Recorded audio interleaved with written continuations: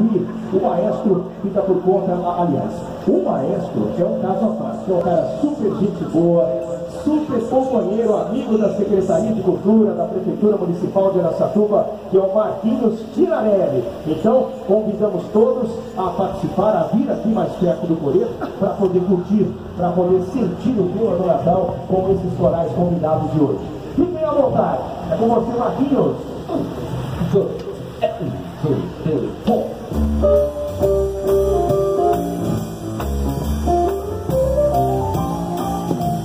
Amigão, o retorno sumiu. Preciso do retorno do piano aqui no palco, por favor.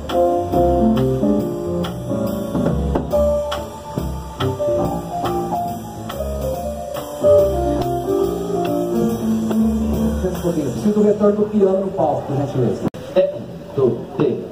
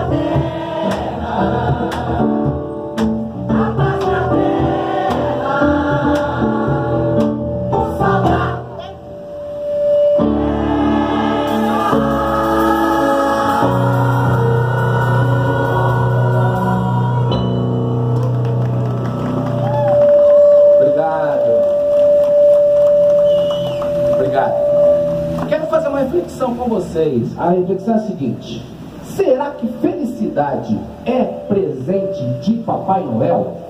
Essa é a pergunta que nós vamos fazer através das composições de Assis Valente, Lupicínio Rodrigues e, não vou trocar hoje, Michael Sullivan e Paulo Massado. Felicidade é presente de Papai Noel? Vamos ver.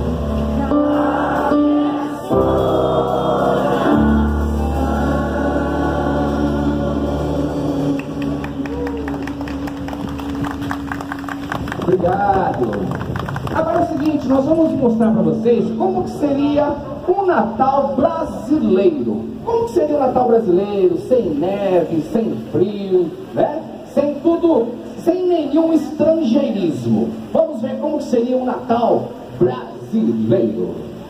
Lembrando, não é próprio não desce aqui, beleza? Foi. Olha o jeito tá bom.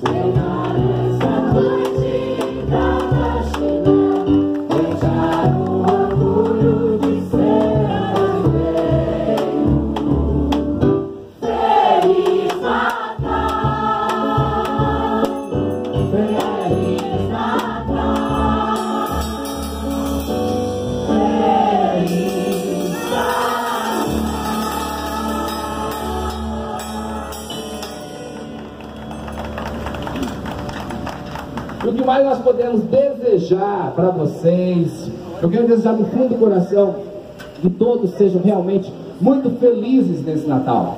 Eu quero do fundo do coração agradecer mais uma vez minha amiga Tiesa.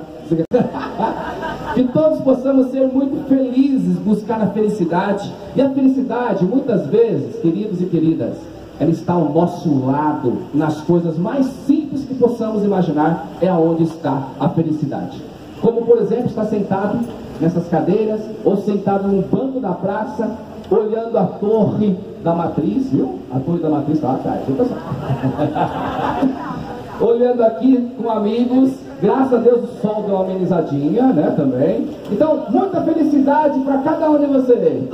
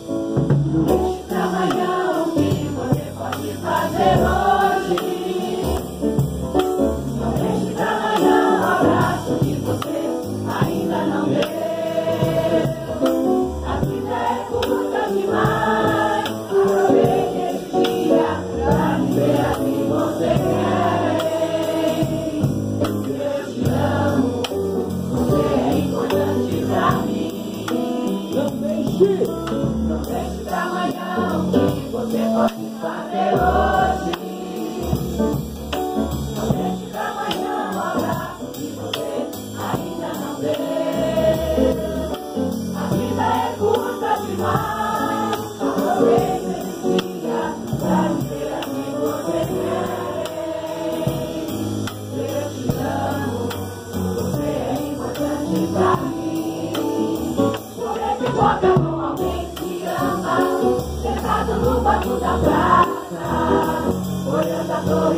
gente ser